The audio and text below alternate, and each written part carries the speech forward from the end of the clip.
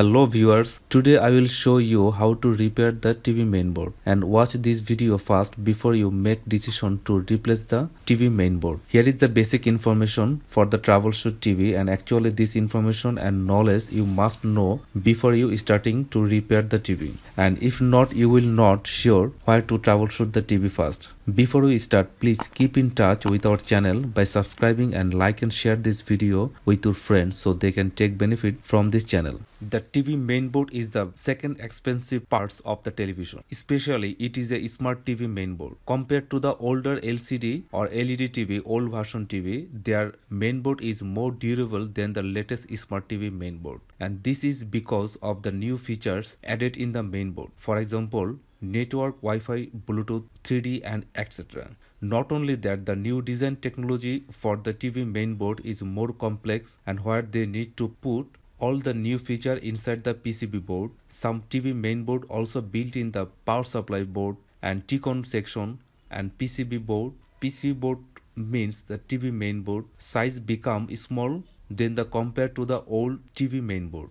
So the latest model TV has lots of the problem in the TV mainboard now and it is nearly some problem percentage with the TV power supply and the backlight now. In this video I will try to list out most of the mainboard problem and their checking method and solution to let the TV repairer save time and solve the TV mainboard. Before show the TV mainboard problem and solution the very first step is isolating the TV problem first. For example, power supply unit self-test method, backlight tester, LCD or LED TV type, TV mainboard output video tester, LVDS panel tester and more tools or tester can help to isolate the LCD or LED TV problem is acceptable.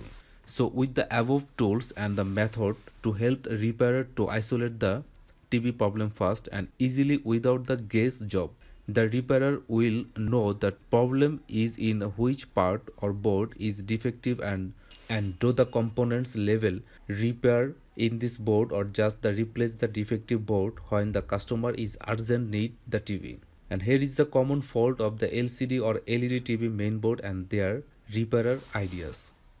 Our first problem is TV no power. Front indicator light is off, no sound, no display. So we have to first check their PSU has output voltage or not. If totally no voltage output, try to disconnect the connector from the main board and check the PSU standby voltage 3.3 volt or 5 volt. Output is appear or not. If no standby voltage output, then it is the PSU board problem and not the main board.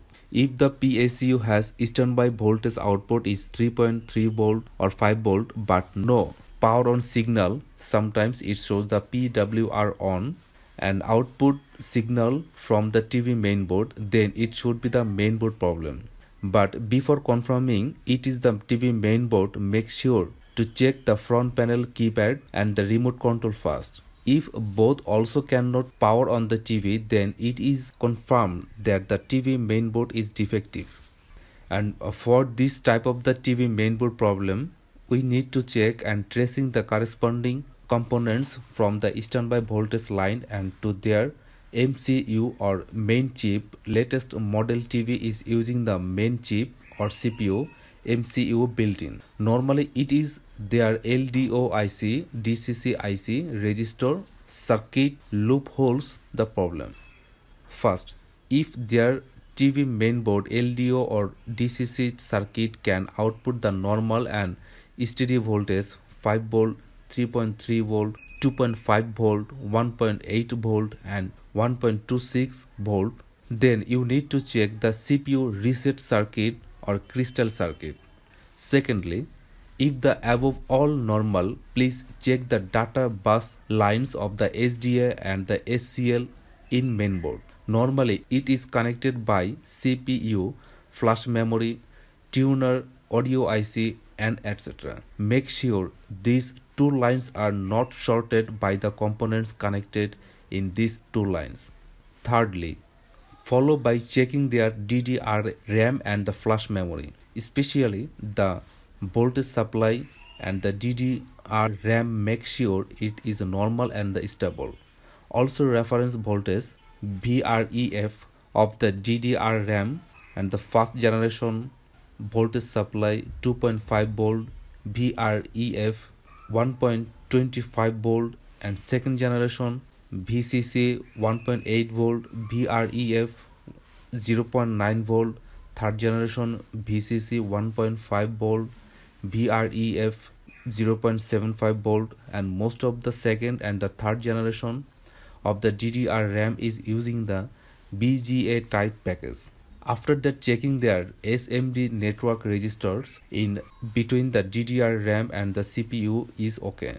Most of the time the resistor ohm values out opened or their loopholes leakage or opened will causing the TV cannot power on or the DDR RAM DDR RAM can feel very hot on their surface and then it may be the DDR RAM defective.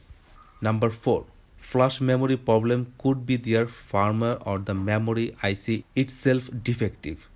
And in the some smart TV mainboard, the firmware is divided into their two types. One is the bootable firmware called it is the boot loader and this boot firmware normally stored in the 25XX serial flash memory IC and another is the main firmware. Normally it's stored in the NAND flash or the eMMC flash memory. If suspect their bootloader problem, try to upgrade their boot firmware and see how the result or use the universal programmer to reprogram their bootloader flash memory with a good firmware. Also make sure the backup the original firmware first before doing any read or write flash memory IC. Highly recommended replacing the serial flash memory IC and if found their firmware problem or even the reprogramming the firmware is still not help then you need to replace the good serial flash memory IC or write back their firmware. Some of the TV mainboard their bootloader firmware was built in their big flash memory for example eMMC flash memory IC. Number 5 Finally, if all the above method also not work and that's mean their main chip CPU is defective, normally the CPU is standby mode. Their CPU surface will be failing to beat warm after the TV startup. It will feel hotter. If the TV is in the standby mode, the CPU surface feeling temperature increase suddenly or quickly.